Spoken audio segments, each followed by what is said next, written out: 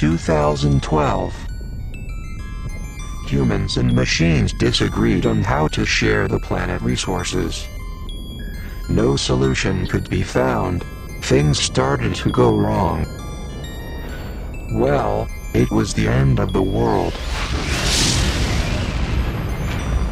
Fortunately, Margaret Catcher and a dissident robot named Alex managed to escape on time. It was time for them to travel in hyperspace and to discover a new world.